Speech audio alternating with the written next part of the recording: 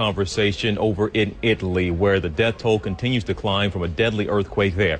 We now know at least 100 people are dead. The death toll has kind of been all over the place, but it has been steadily rising uh, by all accounts and all reporting we're getting. And the latest official word is that at least 100 have been killed. You're seeing it, some of the video here of people who have been plucked out of uh, under a lot of this rubble. Again, this is an earthquake that struck at about 3:30 in the morning in this town of L'Aquila. This is about 60 miles northeast of Rome. This is a very old town. A lot of the buildings here are literally hundreds of years old, and it is the worst hit town that we know of so far. Reports are still coming in from other places surrounding L'Aquila, so we could uh, see a high, a much higher death toll. We do know of uh, hundreds and hundreds who have been injured as well. Thousands of people are helping in this rescue effort. But again, this is some of the latest video we're getting. Uh, you see a man there just being pulled out. A lot of this uh, happening around that particular town. Also, some other video video here to show you.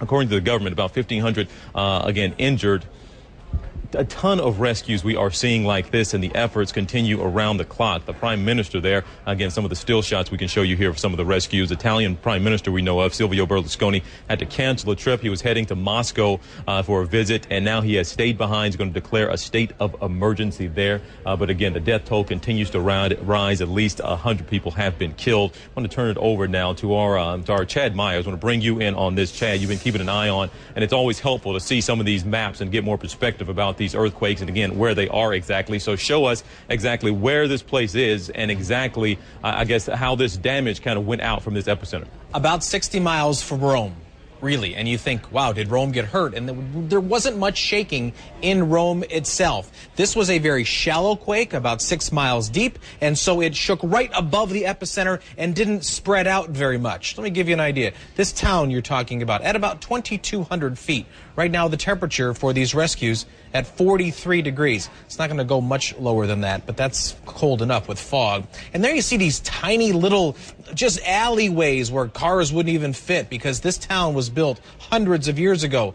That means it was built well before any type of earthquake insulation was ever instituted. And then there are these towns that are even closer to the epicenter that we have no information whatsoever, completely cut off from electricity and from phone service at this 6-3 earthquake.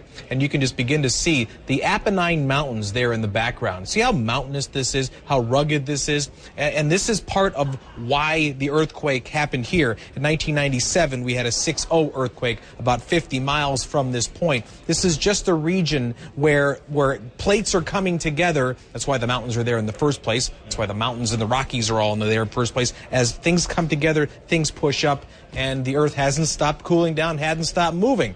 That's why we still have earthquakes, too, right there in the middle. All right, and a mess going over there. Chad, we appreciate you as always being able to break it down like that and show us those maps. Thank you.